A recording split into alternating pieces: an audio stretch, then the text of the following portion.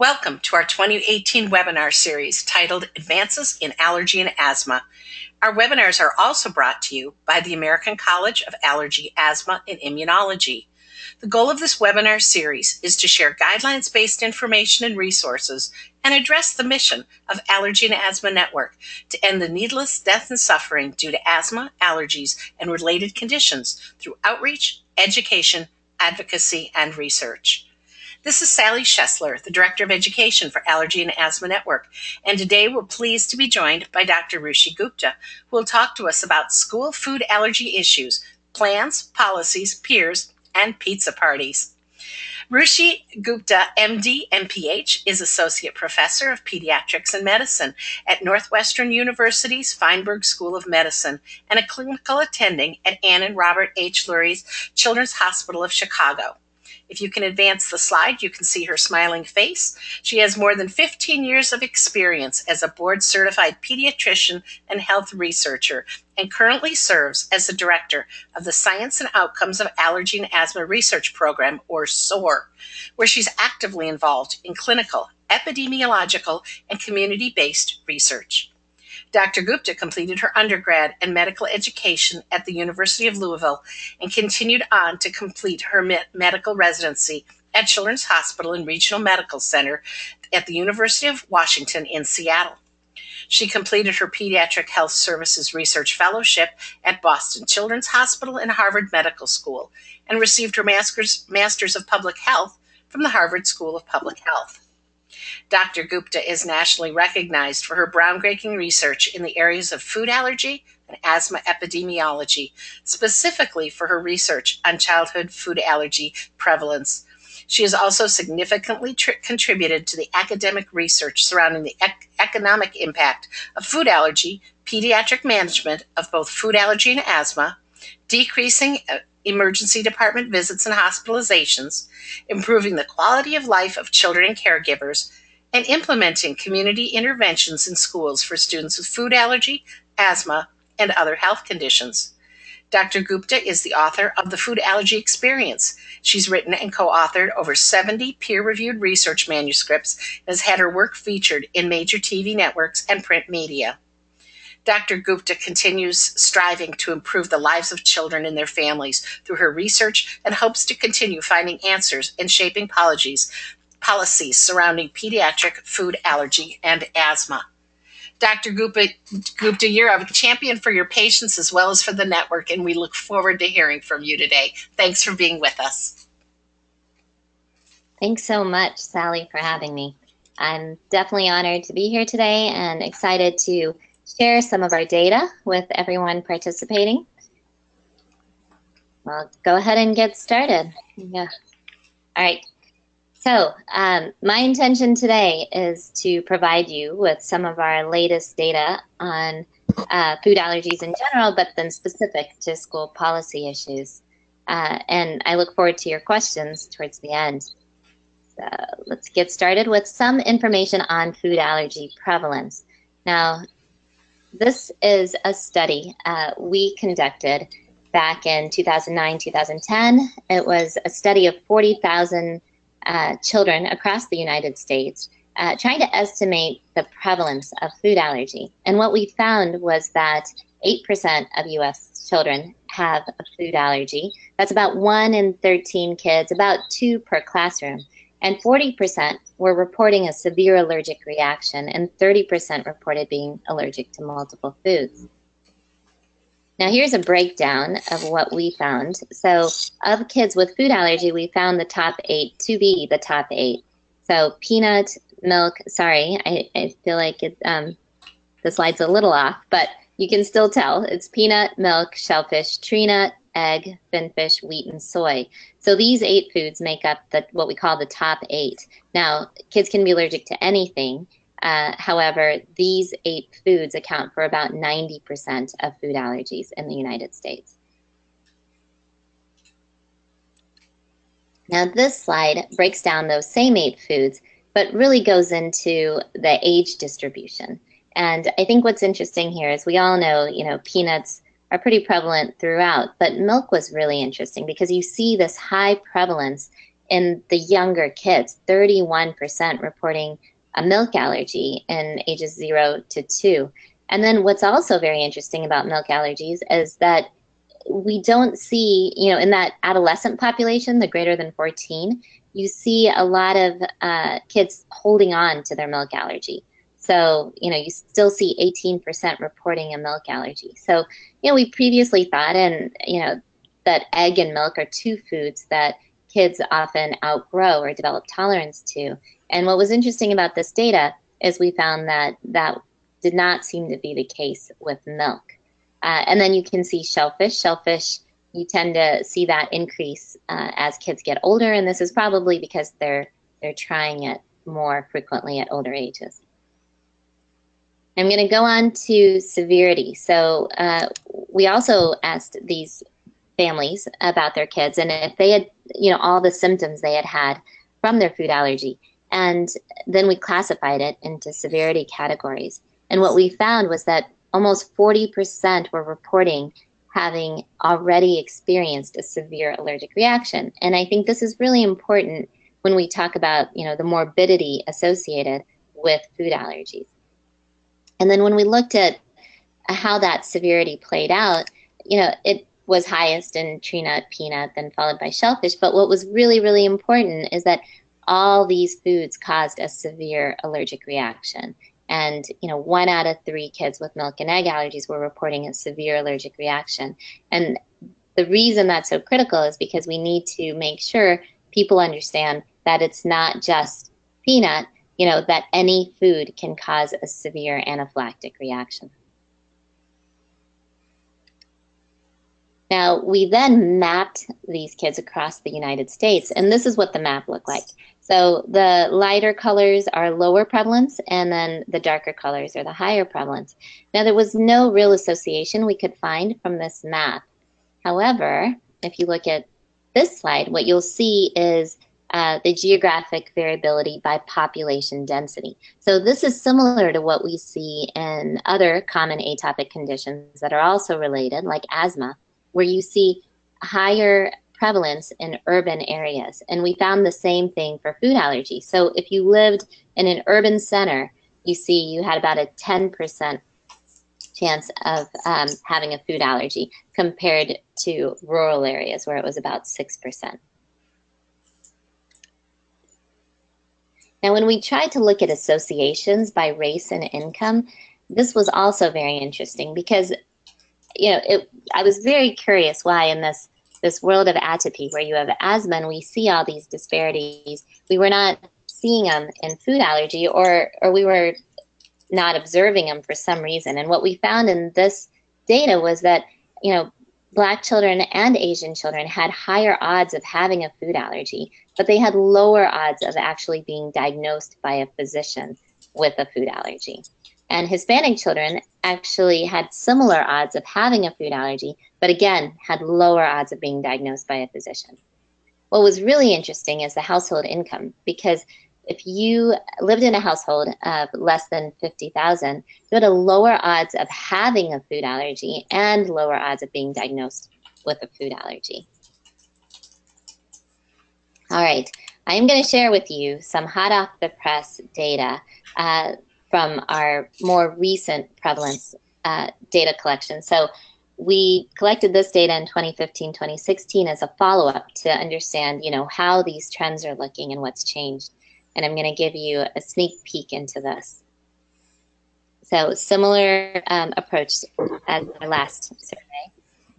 And now what we found in childhood food allergy, uh, what was interesting is you still had the top eight, but now we, we did include in this survey very clear uh, information about sesame allergy. And so it did turn out to be the number nine allergen uh, in the United States. So that was really interesting. Um, as you can see, the overall prevalence still have it about 8%. Um, the overall physician diagnosed prevalence was about 5%. So uh, we still have a substantial number uh, not getting a formal diagnosis for their allergies. Now, this is really interesting because we, for the first time in this survey, asked about emergency department visits. And we asked about lifetime and the past year. And lifetime ED visits, uh, 42% uh, reported that their child had been to the emergency department at least once in their lifetime. And then when we asked about past year, almost 20% were reporting having gone to the emergency room in the past year. So one in five kids with a food allergy are going to the emergency room for anaphylaxis within a year. And I think this is a very important number because uh, we really need to show that this is a serious condition. And the morbidity has not been completely well understood. So if you have a food allergy, you know, how often does it actually impact you? And so this number um, really shows that and gets at that. Now, for the first time, we actually looked at adult food allergy prevalence. And I know we're here to talk about schools, so I'm just going to quickly glance through some of these numbers for you. Um, in adults, food allergy was also very prevalent. Uh, 13% is what we found, but overall physician diagnosis was closer to 6.5%. The top food allergen in adults was shellfish, followed by peanuts and then milk. So when we talk about milk hanging on, it is still hanging on in adults with food allergy.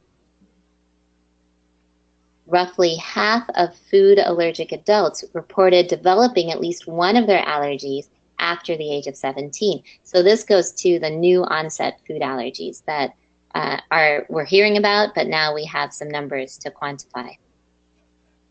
And then adults uh, going to the emergency room, about 40% reported uh, a lifetime emergency department visit for anaphylaxis, and only 9% were reporting a visit in the past year. Okay, so getting a little bit into anaphylaxis, I know most of you on the call are, are probably very familiar with this, so I will I will just quickly give an overview. So anaphylaxis is a severe, potentially life-threatening allergic reaction that typically occurs within seconds or minutes of exposure to the allergen. Uh, usually includes more than one body system, but can also be one with a drop in blood pressure, narrowing airways, blocking of normal breathing, I want to show you, uh, you've probably seen this. This is put out by the Allergy and Asthma Network, and I think it's a very nice depiction and graphic of uh, all the areas um, that food allergy can impact, all the body systems, and um, also what to do in case of an anaphylactic reaction. So uh, it's just a very, very good resource and um, easily accessible if you need. All right, we're going to talk briefly about epinephrine. So epinephrine is a hormone, uh, adrenaline. It's it's a very common hormone produced in your body naturally.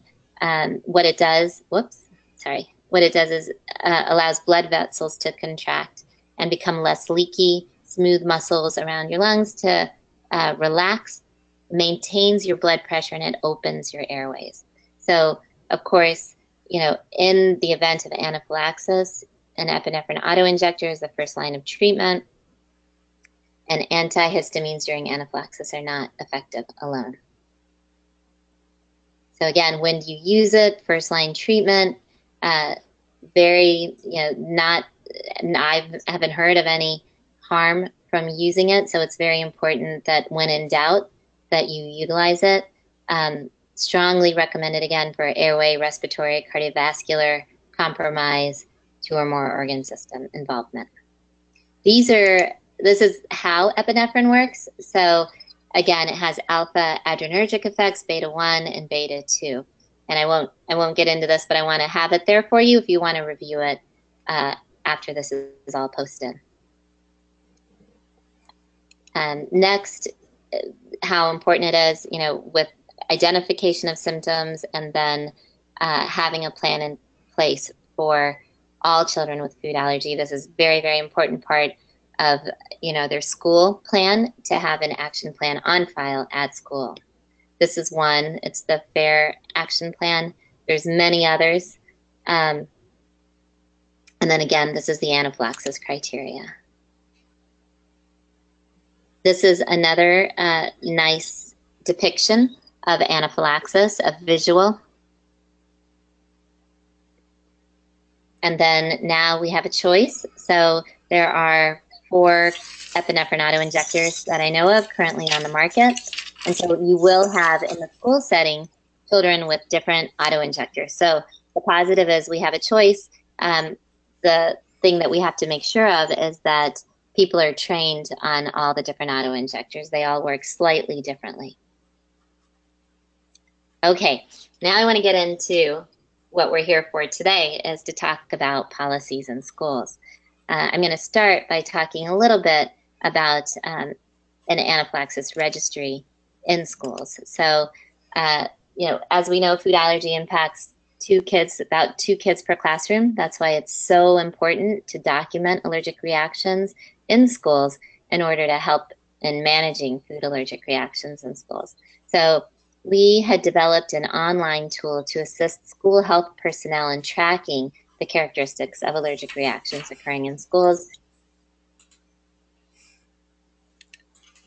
This online school allergic reaction registry was developed and implemented at three Chicago schools during the 2016 2017 school year. All allergic reactions in participating schools were recorded by the nurses. Uh, tool evaluation, quarterly interviews, and we did a final written survey with the nurses. So our goal with this was to help nurses actually develop something um, that was easy to use for them in identifying patients that had anaphylaxis in schools, and then um, identifying all the all the things that went around that anaphylactic event. This is what it looks like, which is a terrible picture, at least on my computer. I don't know if it is on yours, but um, it is a uh, a series of questions about their anaphylactic event. And I apologize for the poor uh, the poor look of this. But if anyone is interested in this or would like it, I'm more than happy uh, to send it to you. So just please reach out and I can I can get it to you. Some of the schools put it in their electronic reporting system, and some did it on paper. So we had three schools participate in this. Um, school A, School B, School C, we'll call them. And that's the breakdown of elementary students, about 10%, middle school students, high school students, and then overall.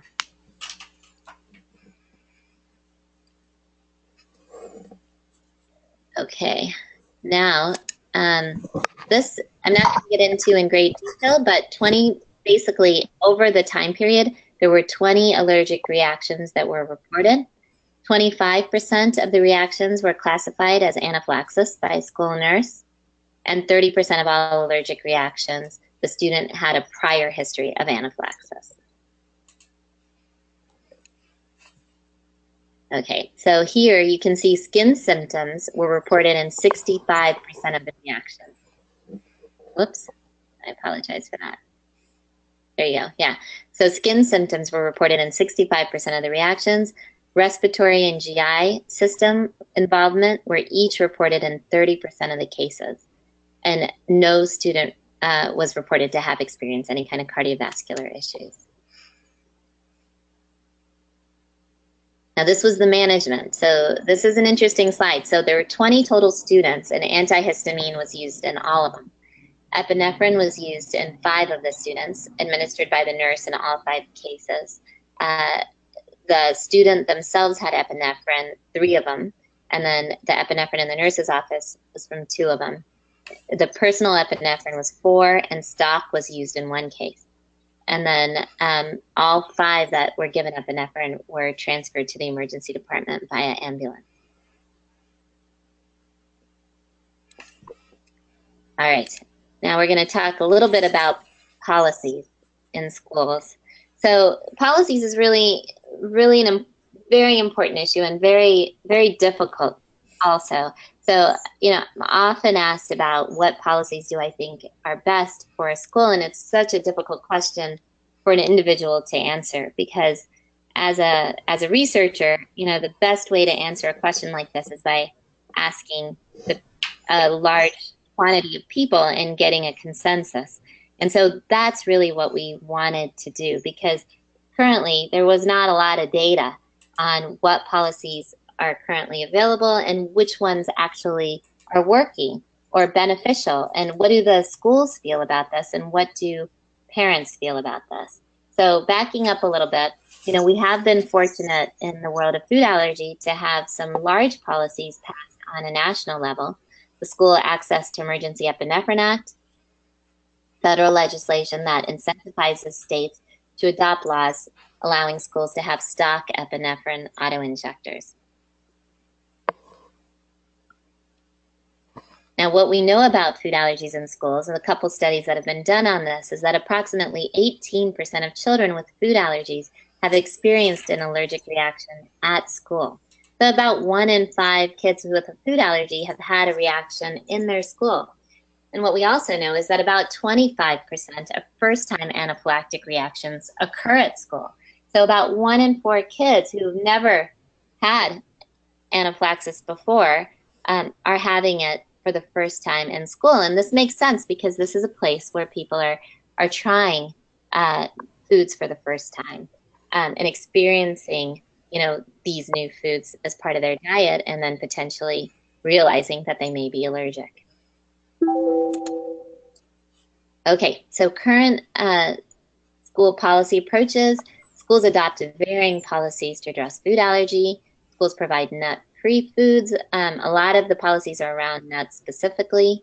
Um, they encourage families not to bring nut products. They designate designate nut free lunch tables, and often they ban outside food from coming into the school.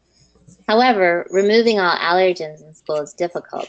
It's very important to reduce exposure and educate, educate, educate faculty, staff, students, regardless of whatever policies they have in place. Now, we have no allergen detector right now. You can't go through a detector and it'll tell you if you have it on you. And kids are going to bring all kinds of stuff to school. So it's always a challenge for all of us to, to figure out what is, you know, the best policy to keep kids safe in school. So I'll get into the first study we did. Now, this is the one where I told you, you know, I wanted to understand from nurses, from school administrators, and then from parents what policies they currently have and what the effectiveness of these policies are. So this is a survey where we surveyed the parents of children with food allergy to determine current school allergy policies that are in place and then again the need and effectiveness of these policies. So an electronic survey was disseminated to parents of children with food allergy in grades 1 through 12. We did this from August 2016 to January of 2017 parents were recruited through the Allergy and Asthma Network and through uh, the Mothers of Children Having Allergies listservs. Data was collected on family demographics, allergic reaction experience, current food, school food allergy policies, the acceptability, effectiveness, and feasibility of current policies, and desired food allergy policies. So overall, we had 289 parents respond. The majority of the parents were mothers, 91%. 70% of these kids were in, in elementary school, so grades 1 through 5. 78.6% of these children attended a public school. So majority public, majority elementary. Uh, and the majority, it was a pretty decent distribution, but the majority lived in the Northeast or Midwest. The most common food allergen that was reported by the parents was peanut and tree nut. 82% of the children never experienced a severe reaction in the school setting, which means that 18% of the students had experienced a reaction at school. Okay, so here now you can see we're going to go into policies in specific areas. So these are lunchroom policies. So 63% of schools had a designated lunch area for children with food allergy. Of those that did not, 32% of parents expressed that they needed this policy. So still there were, so of the, you know, almost 40%, 30% wanted some kind of policy in the lunch area for children with food allergy. Now, 85% of parents believe school lunch menus should provide allergen information. And this was really fascinating. So only 34% were aware that there was a policy in place for lunch menus to provide allergy information. So that's really a bit scary that only one third of parents thought that allergy information was provided on lunch menus in these schools.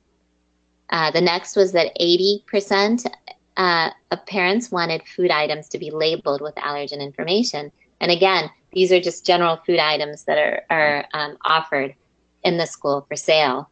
And um, only 12% thought this policy was currently in place. We can go on to classroom policies. So about half of the schools the parents were reporting had current guidelines for celebrations, birthdays, and holidays in the classroom. Um, of, of the people who had it, 90% thought this was a very helpful policy, and 80% thought it was needed if they didn't currently. So that's another area that is really, really important to have specific policies for the classroom, especially in those elementary grades where oftentimes they, they do eat and stay in one classroom the whole day. The majority of parents, 71%, reported that training and education for students was not taking place. So um, the majority of schools are not doing any specific training for students, which, as we all know, is a very, very important part um, of food allergy education to help decrease bullying, especially, but also to make your friends more aware and more supportive um, and more helpful with um, their peers with food allergy. And then a small percentage, about 5.6%, reported that there was any educational materials in the classroom related to food allergy. And we know this is true, but this may be another area that we do need to, to work on is how do we get educational information into the classrooms and education to students without food allergy. Now, we did look at private versus public school associations, and they were pretty much as we would expect. Of course, private schools with more resources um, are more likely to have epinephrine available in the classroom, implement stricter food allergy guidelines when food was not provided by the school, train students and educate them on food allergy, and distribute more educational materials on food allergy. Um, public schools were more likely to have designated lunch areas for students with food allergy and provide allergen-free meals to students. Now, the differences are potentially based on variances in financial resources, staffing, time availability, and level of school nurse coverage, which we know is an issue in many places. Now, there were some age associations. Policies tend to be age appropriate based on self management capabilities and ability to minimize personal risk. So, what that means is that more students were allowed to self carry epinephrine in high school and middle school as compared to elementary school. And then elementary schools have a higher rate of designated areas in the lunchroom for children with food allergy compared to high school. They're more likely to have snack policies in the classroom than high school, and they implement stricter food allergy policies for celebrations. All right. I uh, hope everyone's still with me. It's uh, I know I'm not able to to see you or take your questions, but we'll just keep going, um, and we'll do questions in a little bit. But please uh, please keep them because I would love to answer them. So the next is the parent's perspective on school food allergy, or sorry, the conclusion of this is that one in four parents did not feel school was safe for their food allergic child. Um, many parents were unaware of food allergy policies that are already in effect in their children's schools. Um, parents expressed desires for lunch and food labels, a need for stock epinephrine, need for education of school staff and students on food allergy management, and more policies in place for, field trips and after school activities. Significant policy differences between student, age, public and private, and region of the country. Okay, so how did that, this compare to what the nurses told us? So we did a very similar survey um, with some slight differences to inquire about nurses or administrators, most of the responses were nurses, uh, school nurses, on what they currently had in place for food allergy policies, and then again, what they thought about them. So similarly, an online survey was disseminated around the same time period, and data was collected on school demographics, current policies, acceptability, effectiveness, and feasibility of current policies and their desired policies. So demographics, we had 242 total respondents. Uh, 96% pretty much were school nurses. 88% worked at a public school. 88% of schools reported a nurse working on site five days a week, which is amazing.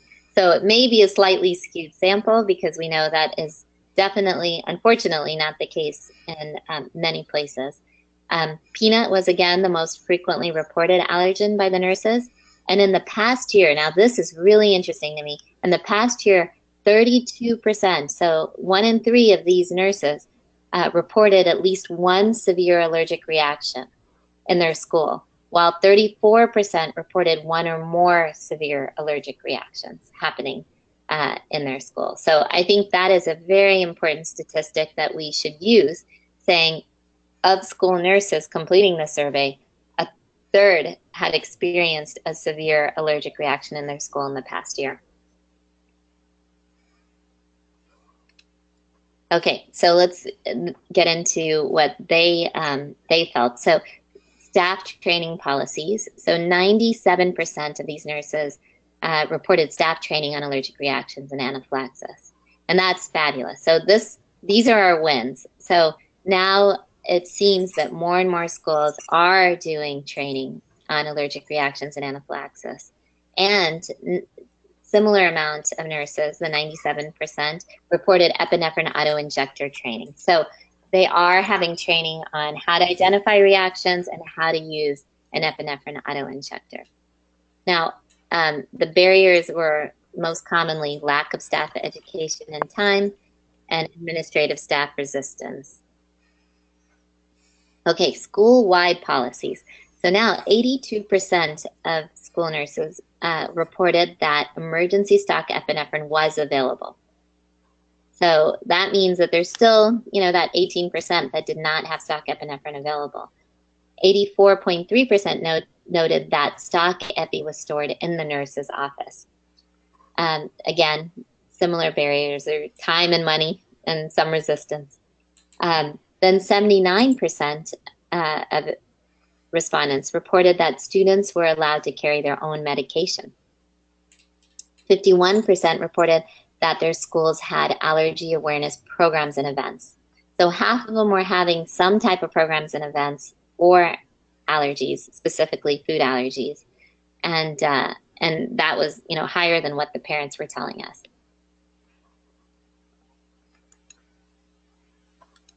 Okay, so classroom specific policies. 62% reported that there are strict food allergy guidelines in the classroom. Um, so that's slightly higher than what the parents were telling us, but relatively consistent. Um, 68% reported that there are strict food allergy guidelines for. Parents somewhat closer to 50. Lunchroom policies 84% reported clear cleaning procedures for the lunchroom. 62% reported designated areas for students with food allergy to sit and eat lunch. And then 88% were reporting that there was training of lunchroom staff about food allergies. So the conclusion uh, for the, the um, school administrators, primarily nurses survey, was that specific Policies vary according to factors such as age of student body and school nurse presence. Policies are generally favored by nurses. However, implementation may be hindered by lack of resources, time, or resistance by parents and staff. And identification of effective school food allergy policies and consistent implementation may lead to improved outcomes for students with food allergy.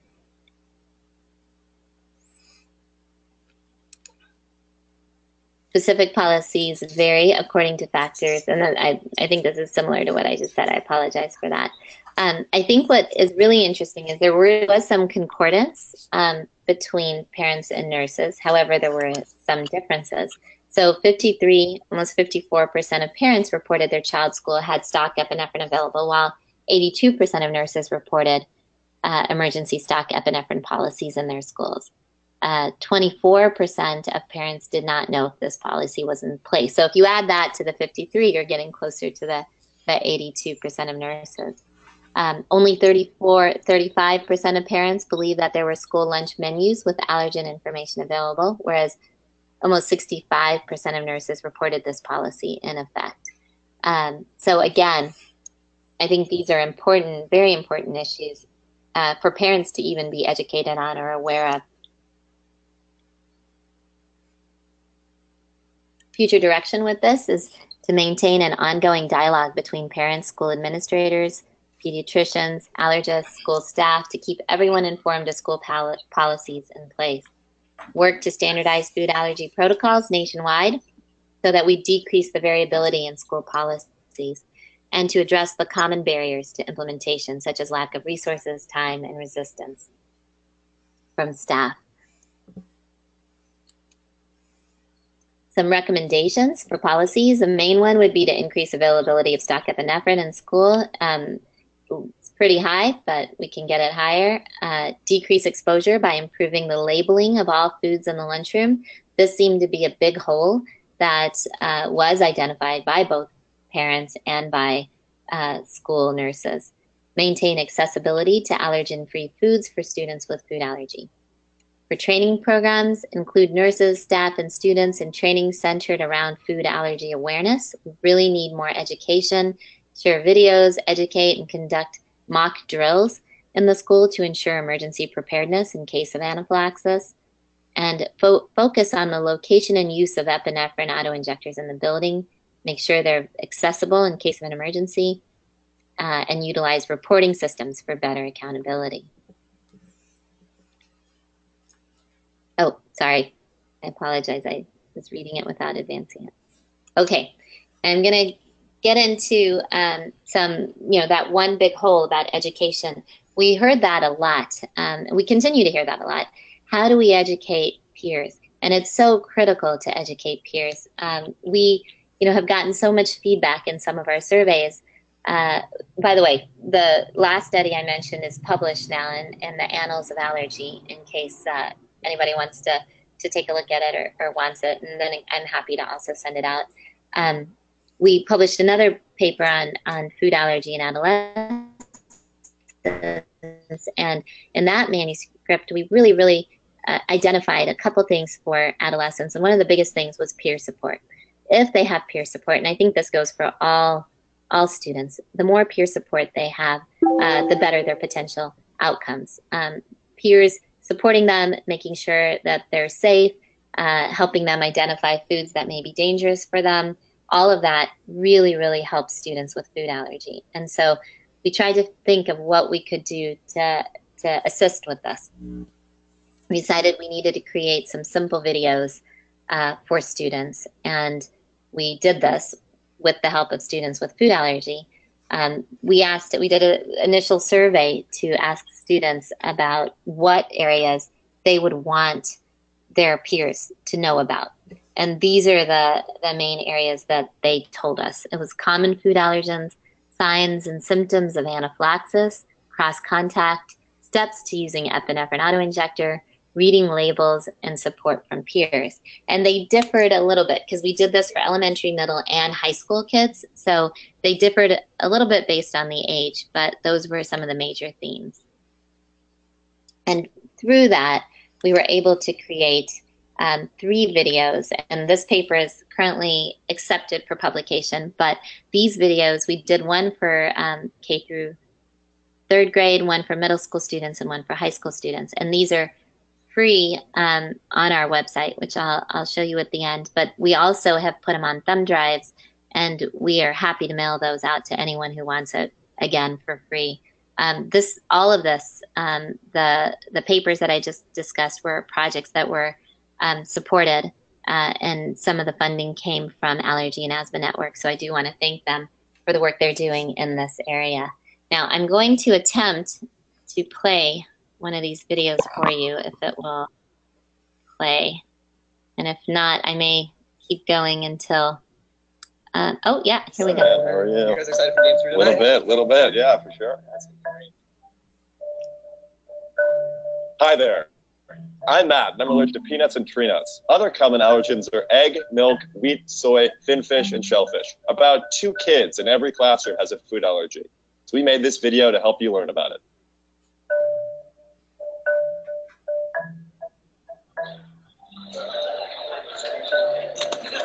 Um, excuse me. Do you know if this popcorn has any peanuts in it? It's nut free, safe for students with allergies. Great. Matt, it's not free. Yeah, I can read. Hey guys, why'd you ask about peanuts in the food? Hey, Jason. We asked because Matt's allergic to peanuts. Oh, I don't really understand food allergies. Is that kind of like being allergic to cats? Kind of, but it can be a lot more dangerous. Yeah, whenever I eat a peanut or any food with a peanut in it, I can get really red and itchy and have hives all over my body. Sometimes it can even get hard to swallow or breathe. Yeah, being friends with Matt has taught us a lot about food allergies. Wow, that sounds pretty intense. Well, you know, it's hard to avoid peanuts 24 7. That's why I carry my epinephrine with me everywhere I go and always double check the ingredients in all my food. Hey guys, I brought some cookies and I made some without peanuts for you, Matt. Thanks, Catherine. Oh, by the way, some of the other girls and I are going to go to dinner on Friday. Do you guys want to come? Where are you guys Yeah. going? We haven't decided yet. We're trying to find a place where Hannah can go that's good with her egg allergy. Sounds good. We could come by after basketball practice. Matt, are you feeling okay? No. I think I'm having an allergic reaction. Oh my god, it must have been the cookies. I'll go call 911. I'm feeling really hot right now. Matt, do you, do you need your epi? Is it in your bag? This is, Matt, can you give it to yourself? I'll do it. Can that go through his pants? Yeah, oh, I just forgot to take the blue safety cap off. Make sure you hold it for three seconds. Help is on the way. Feel better? You look so much better, Matt. I'm already feeling better. Ugh, I feel awful. I'm so sorry. It's not your fault, Catherine. Even if you were really careful, there still could have been some cross contact. What's cross contact? It's when a peanut or something else you're allergic to touches your food, but you don't know it. I'm really sorry again about the cookies. I'm just glad that you're okay. It's okay. Thanks so much for giving me my epinephrine. Yeah, no problem. We know how important it is to use right away. What does epinephrine do? It's a medicine that helps your body recover right after having a reaction. Yeah, it's pretty easy to use. Matt taught us just in case he can't do it himself. It's always important to make sure that you have two. Oh, the ambulance is here. But you look so much better. Yeah, I feel better, but I still need to go to the emergency room whenever I use my epinephrine. I'm going to just pause it there. Um, try to get back to. There we go. All right. Um, it's a little bit longer, but for the sake of time, and so I can get to your questions, I would like to just give you an example. I hope that played well. I'm, I couldn't tell completely on your end. Yeah, it looked Um, it looked so- good, Ruchi. No problem. Okay. All right. Good, good, good. All right. So, some celebration um, safety for food allergy. Uh, it's so important to um, have snack free celebrations when possible. I think more and more schools are going to this. Uh, no homemade treats in the classroom, you know, no home baked cookies like in that video. Emphasize the activities, not the food, crafts, games, and fun. Use non food treats whenever possible, stickers, trinkets. Uh, always have an epinephrine auto injector on hand. And with that, I think I'm almost to the end. I just wanted to let you know uh, we are sponsoring a Midwest Faces conference. It's a food allergy conference on education and science. Um, we're trying bringing together families and physicians. So the families conference is two days, Saturday the 9th and 10th of June in Chicago. Hopefully the weather will be warm by then. Um, at Lurie Children's Hospital in Northwestern. And uh, we have a great lineup of speakers. Please go to MidwestFaces.com for more information. We're also having a, a, a physician conference, physician and school nurses, um, and anyone who cares for uh, food allergic children, um, but a little bit more clinically oriented on Sunday from 1 to 6. And with that, I wanted to say thank you. This is the website, teamsoar.com. You'll find all the videos on that website uh, if you um, are interested in using them or, or passing on. Again, you can contact us and we would be happy to send you one um, so you don't have to go on the internet to view it. And then I'm happy to take questions. That sounds good. I I've got quite a few questions here for you. So if you want to go Oh, back to the okay. slide with your uh, address on it, that way if people need to write it down, they have a few minutes. So uh, our first question, we've got about 10 minutes for questions, which is fabulous. Uh, one, the first Great. question is, why do you think kids are not getting diagnosed with food allergies necessarily? Yeah, that is a really great question.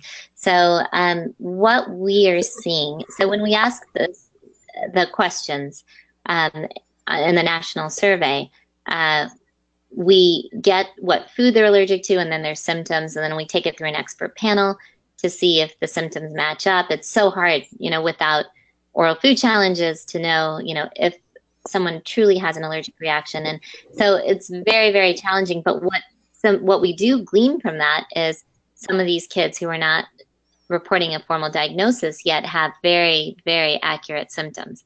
Um, and really look like they have a food allergy. And I think there's a couple reasons they're not getting diagnosed. So, what I hear sometimes from families is they have other conditions that are more important. And when they had a reaction when they ate the food, they just avoid it. There's no treatment for it. So, it's not like asthma where they really need their inhaler. Um, with food allergy, you really do need your epinephrine auto injector, but um, there's no medications you can take on a daily basis, like with allergy or a controller med for asthma yet. I, I say yet because you know there are treatments um, on the horizon. But a lot of families that we hear from they just say you know my kid also has asthma and other things and i don't never mentioned it because we just avoid the food. So there's nothing they can do for me right? And so um, my guess is there's not enough awareness or, or, families don't have time or some families don't have proper access uh, to get that formal um, diagnosis and ideally you know from an allergist and proper testing.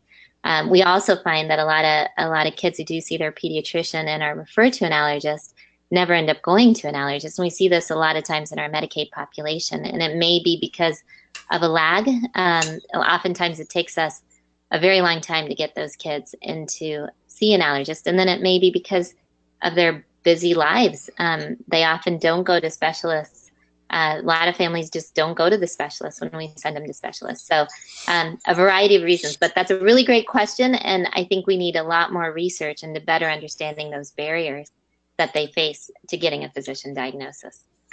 So, Ruchi, a lot of people are asking for the report of allergic reaction form that they saw in the presentation today, and they're wondering if they want to get one of those from you, how do they reach you?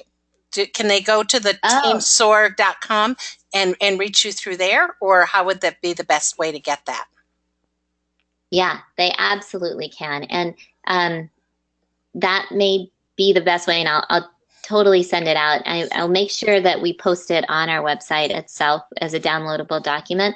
Is there a way sally i can also send it to you? And when you post the webinar you can attach it? Sure. I'd love to do that. That'd be great. Okay. We'll put it right so we'll do all three. We'll we'll make yes, sure everybody we'll gets it that wants it. How's that? Our next question is are there any parent questionnaires that we can use to help identify what kind of accommodations may be needed for their child? Oh, parent questionnaires. That is a great question. And this is what I love about these things is you're giving me ideas to work on.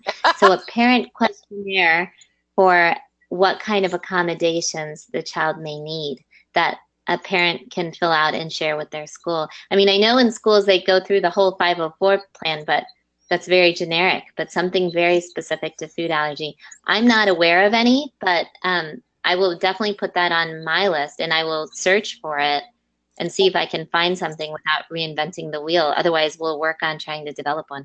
We can do it together. The next question yeah. is the data that states 25% first time anaphylaxis at school seems to be old, maybe from 2010. The small study you recently did in schools, did that show first time ever at school that high? Oh, that's a very good question. And you're totally correct. So, um, the study that we did at school um, of those, that's a good question. I'm trying to remember the data of how many had their first time anaphylactic reaction in the school. Of the 20, what did I say it was? It was, I want to say, I'm not, we have that data, but I don't want to misquote. So I would have to go back and take a quick look. Um, I can tell you, we did a study in CPS um, that we published. And that's Chicago, Chicago that, Public Schools is what CPS Oh, yeah. right. Right. Um, with the third largest public school system in the country. And we did find of in year one of our having a epinephrine, stock epinephrine, um, half of those kids actually had never who who received the stock epinephrine. Now I can't guarantee it was done, you know, for anaphylaxis, but of the kids who did receive stock epinephrine, um, half of them had never been diagnosed with an allergy, and it was their first time um, having an event that required the epinephrine. So it's a really good question. What does that number look like? How many kids are having their first time reactions in schools? And I don't know if that number has been uh, replicated that was that. from Massachusetts data. They do they do uh, a report every year, so we should be able to find that updated. The next question is: mm. Is there ever a need for students to not sit in the cafeteria due to a parent claim of anaphylaxis with smelling the allergen? In this case, it's peanut. What's the incidence of anaphylaxis with smell versus touch and ingestion? Wow. So that is a that is a very tough question with so much controversy around it. Um, the couple studies that have been done um, by Scott Sicherer have found that smell smelling um, does not cause anaphylaxis um, because if you think about the mechanism, it's the protein that needs to get into the body. So unless smelling may, in, in the couple of instances um, that have been reported around smell, it's been some some intense in, instance, like a, a pressure cooker type of a function um, where the protein actually got in the air. But the problem with this is it's so hard to measure or test this. Um, and so there's very, very few studies that have looked into smell. Um, touch, now, if you touch it and you don't have any broken skin or eczema um, or excoriations, then by touching it, you should get a local reaction. So you should not get anaphylaxis. Again, if your skin is intact. Uh, touch should cause a local hive or local rash or local swelling. Um, and then the most common and frequent way is actual ingestion of your allergenic food because you're ingesting the proteins into your body. Now, I, I know there's a lot of controversy around it, so I'm not at all saying that it can't happen. I'm again, as a researcher, just telling you what the data shows. Um, and this is really important, especially for older kids. But the other thing I do want to point out is the problem with food allergy today is that we do not have any kind of a severity spectrum. So I can't tell you that you're low, like in asthma, you know, you're low intermittent and you're severe, you know, and so you probably will never have a issue because your threshold is high enough with, you know, being around a food. Whereas these severe food allergic kids may have, you know, a higher chance of, of anaphylaxis. So those are all things that researchers, including our lab, but amazing researchers all around the country are really working on um, trying to develop something where we have a better predictor for who that person is or that kid is that um, may be at higher risk. Okay. I hope that answered. I hope it does too. A couple of people have written in and said that NASN, the National Association of School Nurses, has a good parent questionnaire on their website. And we actually have a question for you next, Dr. Gupta from Seoul, South Korea.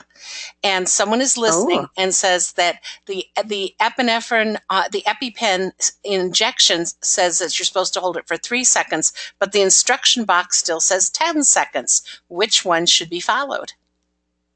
Wow. Okay. So if they're using the new brand of EpiPen, then three seconds should be fine. Um, this is really interesting because it did go from 10 to 3 um, after some manuscripts were published, but the actual epinephrine is released within a second typically. So even the three second or now Auvi-Q, the other um, manufacturer, is down to two seconds. Um, it's really for safety reasons, but the epinephrine from all those auto injectors are released within the first second.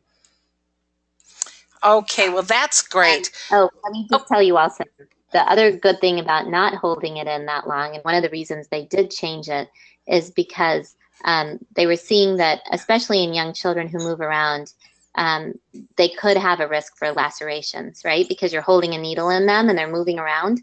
So that was another reason to reduce it to the three seconds. Okay, I think- sorry, Sally. That's okay. There was a lot of concern about that. I remember.